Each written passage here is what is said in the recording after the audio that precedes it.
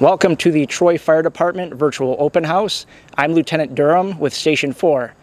This is our heavy rescue. This heavy rescue runs on every extrication in the city of Troy. Uh, extrication means a vehicle accident where somebody is trapped. Uh, it also runs on specialty rescue runs as well as any structure fire in the city of Troy. Essentially, it's a giant toolbox. Inside this, we have every tool or most tools we need for any extrication, specialty rescue, or to help out with a structure fire um, on the rescue side. To my left here, we have extrication equipment. This is all battery powered. We've got cutters, spreaders, specialty tools for opening commercial and residential doors, as well as a ram here for spreading things apart.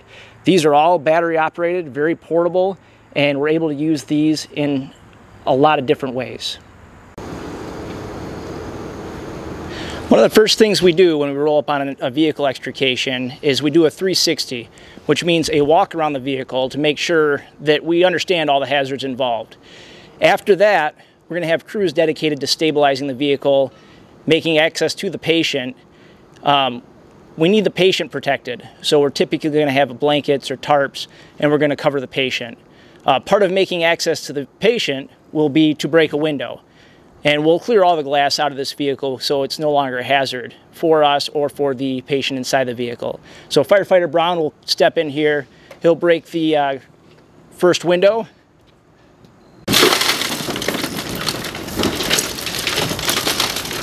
Now firefighter Brown is clearing all the glass out of the window opening and that's to ensure that everything is safe for us when we make access to that patient. The next step to make proper access to the patient would be the windshield. The windshield's a little bit different. Uh, the windshield is laminated glass. It's two pieces of glass with a plastic sheet essentially in the middle. That holds everything together. So we can't use an easy tool like this and expect it to break.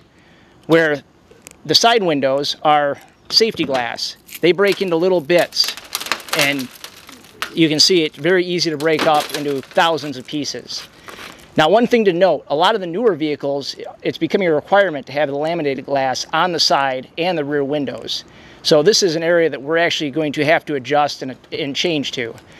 But to access the patient from this, we've got a tool called a tomahawk. It's essentially a saw, but we use it like a tomahawk. We break the window. Once it's broken, we put this end in and we use it like a saw. We'll let firefighter Cleary show how we actually do this. So now that he's got a purchase point, a hole in the glass, he's going to insert the other end and run it just like a saw. There's other tools we can use. We can use a sawzall. We've got a special glass cutter that's adapted to a drill. Um, so we've got a lot of different tools in our toolbox to get through a windshield. So this is called the Ripper. This is a newer tool that we've uh, just purchased. Uh, it's used to cut apart windshields or cut through windshields on vehicles, cut through the laminated glass.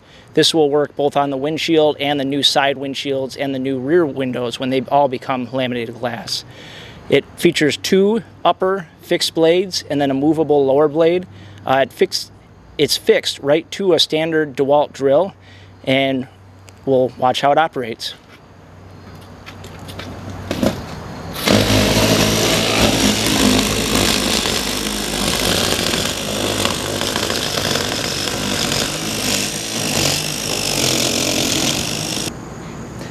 Right, I'm going to talk to you a little bit about our cutting tools here. We have both electric and hydraulic. Um, these are commonly referred to as the jaws of life. One of the advantages of our newer equipment, it's all battery operated, still works the same. It has a hydraulic pump built inside of it. Opens, closes. We're able to uh, bring these almost anywhere and work to extricate somebody in a vehicle, get somebody out of a vehicle, whether they're far off the highway, uh, maybe it's an industrial accident, we have to go inside a building. Uh, maybe we're helping out our fire, fellow firefighters um, at a structure fire that may have become trapped. So these tools are very useful. They're extremely portable. Uh, again, these are cutters. Just to give you an example of our other cutters, again, sets of the jaws of life. These are a little less portable. They're run by hydraulics that are attached to the truck. The hydraulic pump is built into the truck itself. Um, same cutters here, these operate a little bit slower and we're also limited by distance. Now with this vehicle, it's fairly straightforward. Everything's intact. Um, nothing's been smashed on it. Um, so we're going to look at removing a door right now. We've got firefighter Cleary and Lieutenant Young. They're operating a Hurst tool, Jaws of Life. This is a spreader. So this tool will spread open the door. And the reason they're in the window right now is they're opening up the metal so we have a place to work. Now you can see on the side of the door there, they've got a nice spot to stick the tool now. So they're gonna slide the tool in there and start spreading the door open. Now one thing to imagine is while you're sitting in this vehicle, if you happen to be the one that got in the accident, things are gonna be quite loud. So typically we'll have a firefighter or a paramedic, somebody in the vehicle with you to help calm you down, let you know what's going on, let you know that you know you're going to be hearing loud pops and cracks and things are going to be bouncing around a little bit. Uh, we try to make it a comfortable experience, but at the end of the day, we've got a job to do to get you out of this vehicle. And um, it's hard when you've got to spread and twist and cut metal.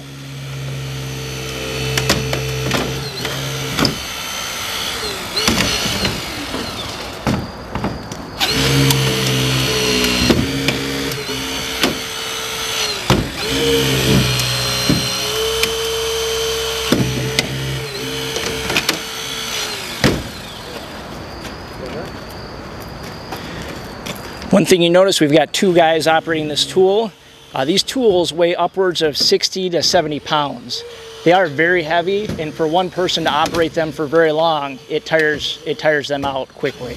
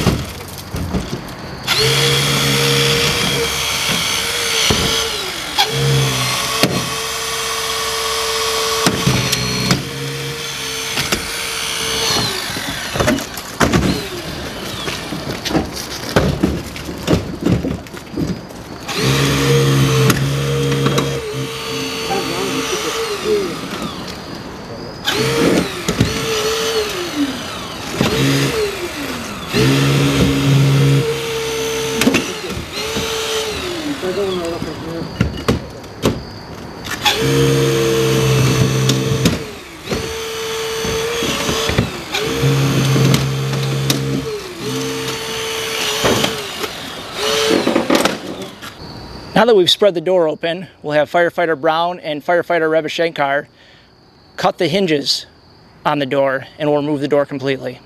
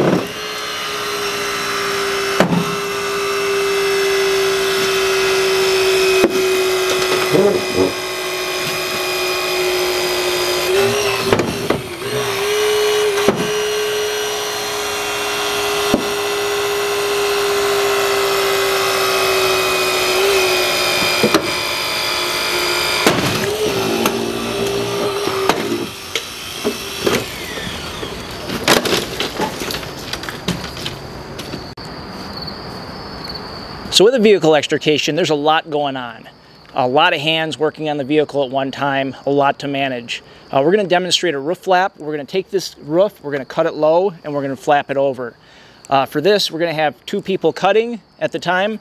Uh, in a normal extrication, we could have as many as three cutters going, even a few sawzalls cutting these cars apart. So again, there's a lot going on at once.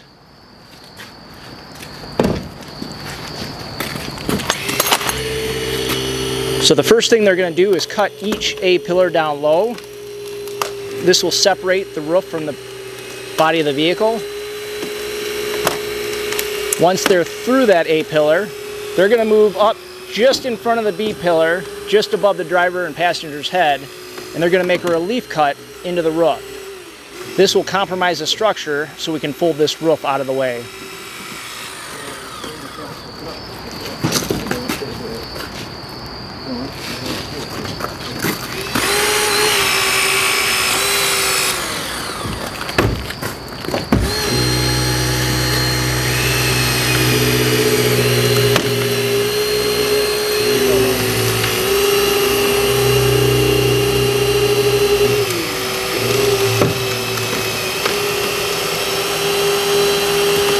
We have a couple options here. We could just flap the roof. Depending on time, we could run a sawzall through the roof and take it off completely. Or we could run through the A, B, C pillars and take the roof off the vehicle completely.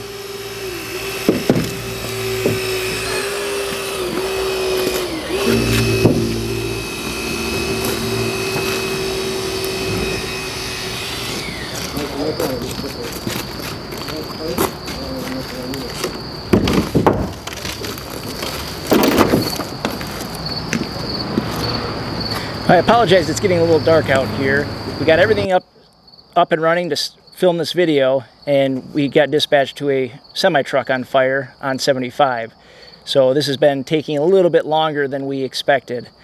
But the last step here is many times you'll have an incident where the patient, the driver, will have their feet tangled in the brake accelerator pedal or the steering wheel will be down and we can't actually get the patient out because they're pinned underneath the dash. So what we're going to demonstrate is a dash lift. We're going to make a cut here, we're going to make a cut up in the fender, and we're going to lift this steering wheel ideally so it's pointed up at the sky. There's a few different ways we can do it. One of the ways is with this electric ram right here, and we can spread this out until it makes contact between here, a nice diagonal, and it'll lift the dash. But we'll show you a different method right now uh, where we'll use our spreaders.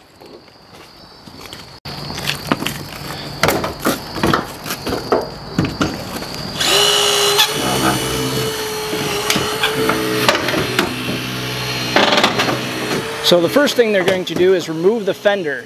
Uh, that gives us access to the structure of the vehicle. We can actually see what we're doing, see what we're working with.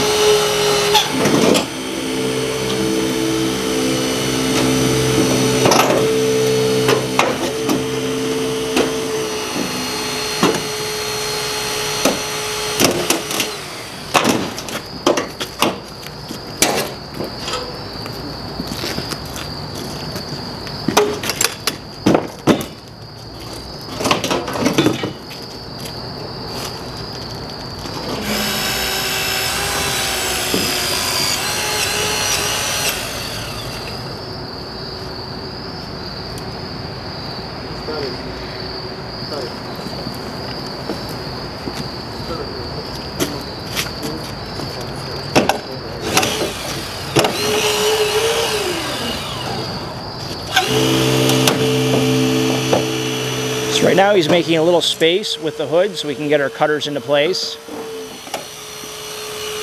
Now we're going to bring the cutters in and cut the frame.